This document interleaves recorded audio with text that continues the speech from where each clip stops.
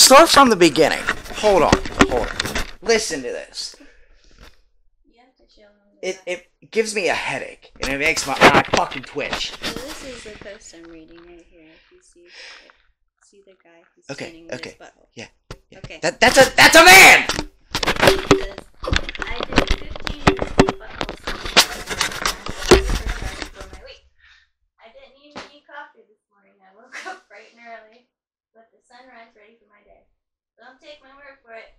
Just try it yourself so you can receive and feel the beneficial power of the sun for your anus.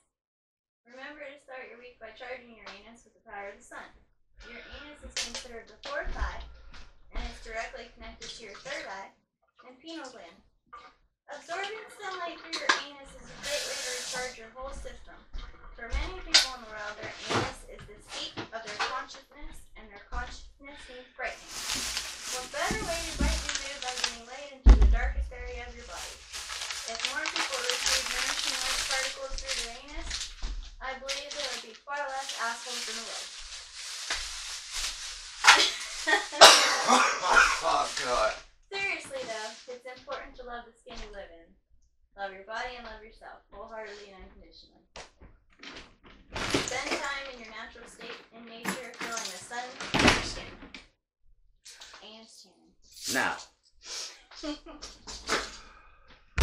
Oh god. Now, with that being said,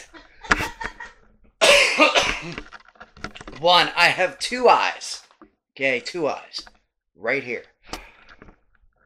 I'm pretty sure you have two eyes. Yeah. Okay. Okay.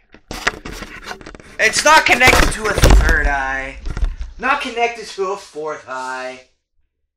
I have two eyes. And trust me, none of them are in my ass. But you're not gonna go outside No! the sun and bleach your No!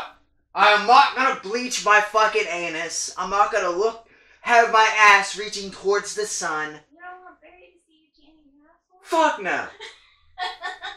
He might like it. He might come over here and try to lick it. But you have to hold your legs up like that kind of like in the picture and make sure your butthole really out. No. the sun is- No, no. There are some weird shit in this world.